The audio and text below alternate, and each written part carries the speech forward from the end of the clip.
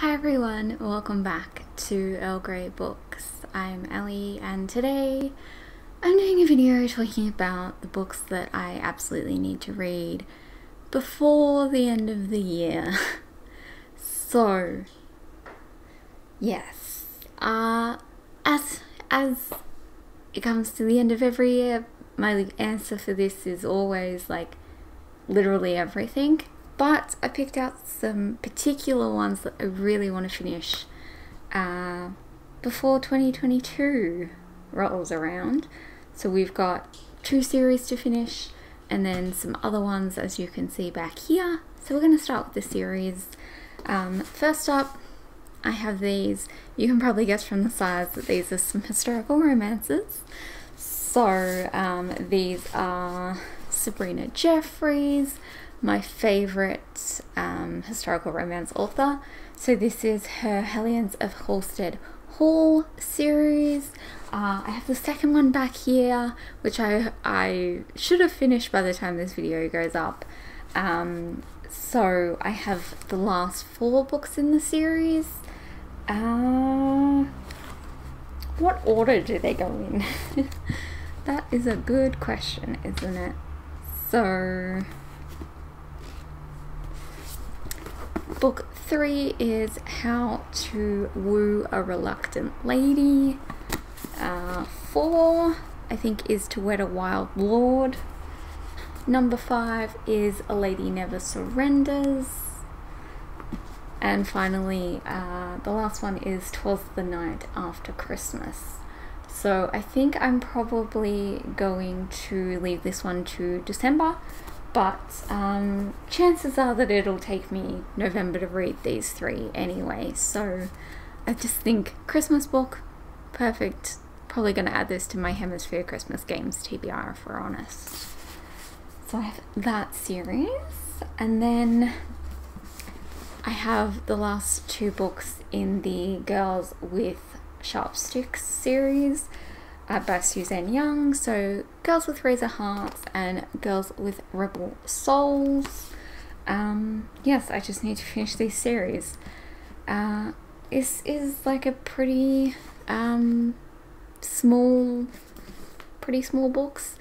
Um, I've just noticed that my TBR cart must be like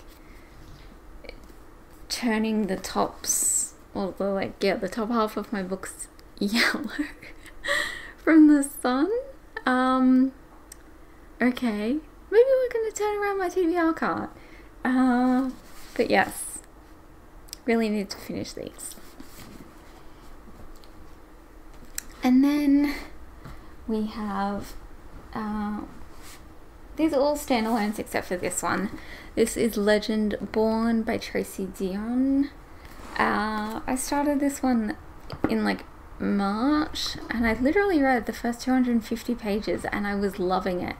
And then I like put it down for something and I didn't pick it back up.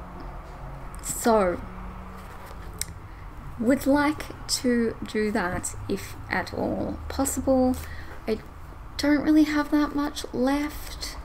Um, it does have the tiniest writing known to a YA book ever, um, but very excited to finish it. Uh, and then, yes, some standalones. So we have Ariadne by Jennifer Saint. I was meant to read this. Percy is using his tray. I was meant to read this in November, no, October, um, for Scary Readathon. Didn't do it. So hopefully I can get to it in November or in December. Uh, and then I have good old classic here. I have Emma by Jane Austen, which again I started in like, yeah, like March, April. And uh, I'm 300 pages in. I just really hate Emma. I really hate her as a character. I just think she's like so I've seen um, big Austen fan, so I've seen many an adaptation of Emma, and the whole point of me reading this one was to watch the new one, and like in the adaptations, my favorite is the like mini series. Um, and I'll, I'll put a cover of that one here. Um, and I don't hate Emma in that. Like, she's not a great character, but she's not like I can appreciate the the way that she's like created um, and portrayed for the story. But she's like ten times worse in the book.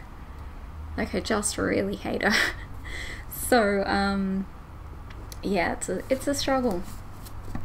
But like I like the story and I like Austen's writing. Um, but yeah, I just really hate Emma. so um, this is also my second last Austen. So like next year of her main novels. So like next year I could read Sense and Sensibility and be done. And I don't know how I feel about that. So there's also that. Uh, and then finally, gotta throw in a non-fiction. This is Vivian Maier uh, by Pamela Bannos. Um, she was a photographer and it's been a while since I studied her, so apologies if I get this wrong, but I think all of her work was discovered after she'd passed away. So, like, she never really shared any of her photography, and like her stuff is her stuff is pretty cool. Um, I might put a few um, photos up here of her some of her work. Um, I will just talk and not have the book there so that they can go up. Uh, so this is one of the books that I have from.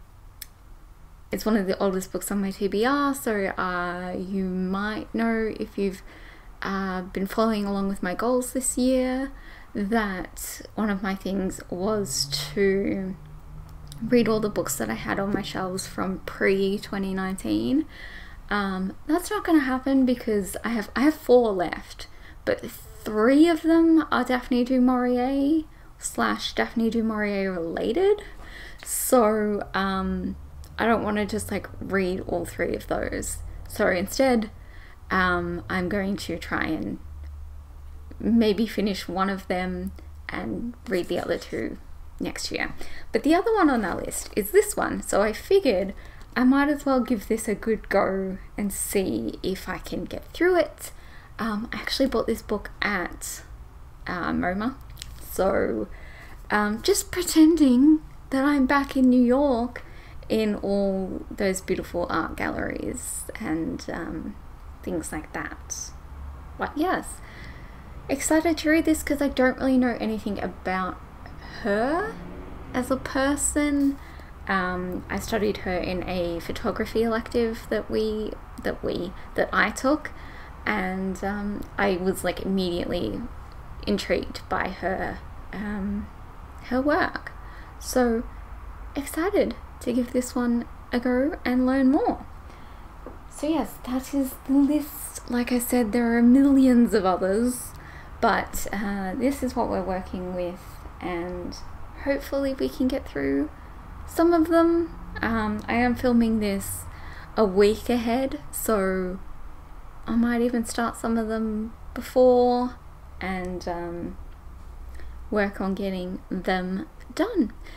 But that is all for today. I will see you all on Monday with my next video. Thank you so much for watching. Bye.